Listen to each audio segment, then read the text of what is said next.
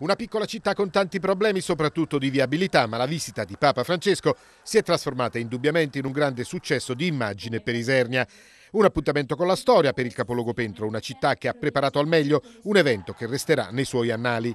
E si può ben parlare di annali, perché il Comune sta preparando, come ha anticipato Brasiello, la pubblicazione di un volume che racconterà, attraverso le più belle fotografie scattate dalla gente comune, la visita di Papa Francesco, fotogramma dopo fotogramma. Intanto Monsignor Cibotti ha voluto cogliere l'occasione di ringraziare tutti, autorità e stampa, per un lavoro comune fatto con tanta abnegazione, un lavoro che ha mostrato al mondo intero il volto migliore di una città in festa per l'arrivo del Santo Padre. Dalla sua venuta a quella del Papa, in una settimana lei ha visto tante cose. Il suo giudizio su Isernia?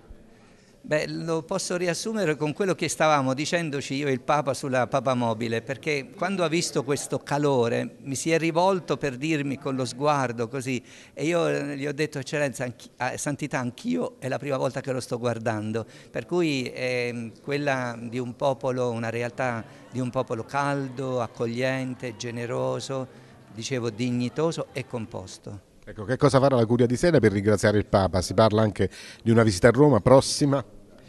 Tante iniziative di carattere spirituale, eh, dicevo nella conferenza stampa, che celebrano l'anno giubilare celestiniano, poi avremo modo anche culturalmente di eh, sensibilizzare l'opinione pubblica eh, a questa realtà della visita del Papa che non deve rimanere un episodio e poi ecco, ci sarà sicuramente un gesto ufficiale potremmo prevederlo, non sappiamo quando, ma un, una, un pellegrinaggio di tutta la diocesi per dire grazie a Papa Francesco. E anche il prefetto Piritore ha voluto elogiare in questa occasione ufficiale tutte le forze dell'ordine e i volontari che hanno contribuito al successo di un evento storico per la nostra Isernia. E sicuramente noi abbiamo avuto anche un'occasione speciale, quella dell'accoglienza al Vescovo, per poter in, in, in, in anticipo organizzarci per questo evento. Devo il mio ringraziamento a tutte le forze di polizia indistintamente per l'impegno che hanno profuso e per le capacità professionali.